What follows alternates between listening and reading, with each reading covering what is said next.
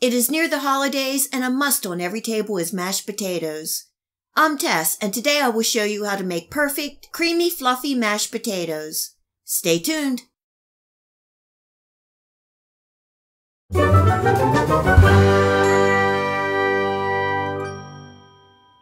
I'm using russet potatoes tonight for the mashed potatoes. I have about five pounds that I peeled and I have them in cold water so they don't turn brown. Here I dice the potatoes into three quarter or one inch cubes. The key is to get them mostly uniform in size so they cook quickly and evenly. I place the diced potatoes back into the cold water and am adding a generous pinch of salt and turning my heat up to high to bring the potatoes up to a boil. Once at a boil, I will turn my heat down to a low boil and cook for about 10 to 12 minutes or until the potatoes are fork tender.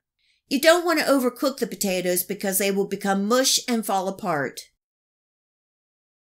Just a reminder that I will leave the recipe and the list of ingredients for the mashed potatoes below this video. Also remember to like and subscribe if you enjoyed this video recipe and click the bell to make sure you receive notification of all my future video recipes. You can give the potatoes a testing along the way with a fork to check for doneness. Once the potatoes are done, I'm draining them through a colander and placing them back into the pot. I'm adding in some salt, black pepper, room temperature butter, and here I have a cup of warm milk that I heated for about 30 seconds in the microwave. When adding milk or cream to hot potatoes, you want the liquid to be warm and not cold. You can use warm milk or cream, and I'm adding about a half a cup of my warm milk now and will gradually add more. You can use a hand masher, ricer, stand, or hand mixer to mash the potatoes. I'm using my hand mixer and starting at a low speed and gradually increasing the speed to mash the potatoes. As I mash the potatoes, I'm adding in a little more warm milk until I get the consistency that I want.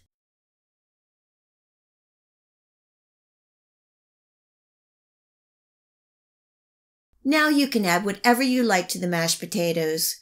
You can add fresh herbs, sour cream, cream cheese, bacon, or whatever you like.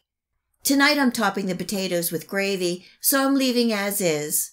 Also, I like leftovers for homemade Amish potato cakes, and that video is coming in the near future. We like the mashed potatoes creamy and fluffy with an occasional potato bite to remind everyone that they are homemade. I hope you give them a try and enjoy.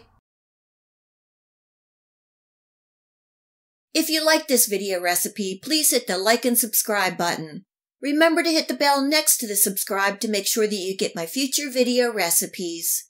You can also find me on Facebook and at my website. Feel free to share this recipe and my channel with your friends and family. And until next time, much love!